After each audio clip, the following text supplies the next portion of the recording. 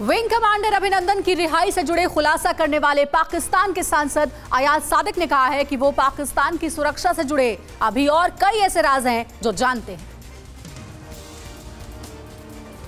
पाकिस्तान की सच्चाई को दुनिया के सामने रखने वाले पाकिस्तानी सांसद अयाज सादिक ने अब नया खुलासा किया है और इस बार उन्होंने पाकिस्तान के सुरक्षा को लेकर ही सवाल खड़े कर दिए हैं। सादिक अयाज ने कहा कि मैंने कभी कोई गैर जिम्मेदारा बयान नहीं दिया है। मैं पाकिस्तानी सुरक्षा से जुड़े कई राज को अच्छे से जानता हूँ। राष्ट्रीय सुरक्षा समिति के प्रमुख होते कई राज को जानने का मौका मिला। इससे पहले अयाज सादिक ने कहा था की अगर पाकिस्तान विंग कमांडर अभिनंदन को रिहा नहीं करता तो भारतीय सेना पाकिस्तान के ऊपर हमला कर देती। इस बयान के बाद से पाकिस्तान में सियासी तूफ़ान मचा हुआ है।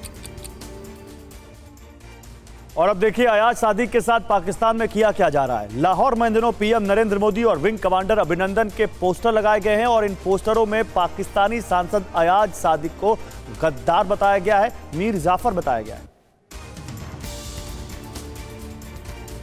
जब से पाकिस्तान मुस्लिम लीग के नेता अयाज सादिक ने इंडियन एयरफोर्स के विंग कमांडर अभिनंदन की रिहाई को लेकर खुलासा किया है, पाकिस्तान में तहलका मचा हुआ है। अब लाहौर में पीएम मोदी और विंग कमांडर अभिनंदन की तस्वीरें लगाई गई है और इसके ज़रिए अयाज सादिक को गद्दार बताने की कोशिश की गई है। कई पोस्टर में अयाज सादिक को कौम का गद्दार बताया गया है। अयाज सादिक के निर्वाचन क्षेत्र में पोस्टर चिपकाए गए हैं। कुछ पोस्टर में सादिक को भारत का समर्थक कहा गया है। कई इलाकों में सादिक के खिलाफ प्रदर्शन हो रहे हैं। दूसरी तरफ़ पाकिस्तान के गृह मंत्री एजाज अहमद शाह ने अयाज सादिक को पाकिस्तान छोड़कर चले जाने की बात कही है।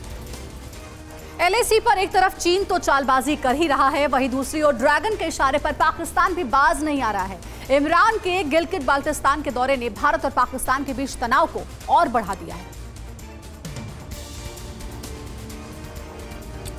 चीन ने अपनी सियासी विसात में पाकिस्तान को मोहरा बना लिया है और पीएम इमरान खान तो प्यादा बनकर जिनपिंग को अपना वज़ीर मान बैठे हैं। अपने दोस्त जिनपिंग को खुश करने के लिए इमरान बिच गए हैं और आज इमरान का गिलगित बाल्टिस्तान का दौरा बीजिंग को खुश करने के सिवा कुछ नहीं है। इससे पहले पाकिस्तान ने एक और उकसावे का काम किया था। जम्मू कश्मीर और लद्दाख को नक्शे में अपना नापाक हिस्सा बताया था।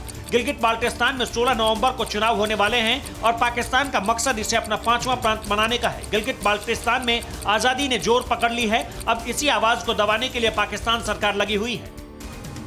फ़िक्र आपकी।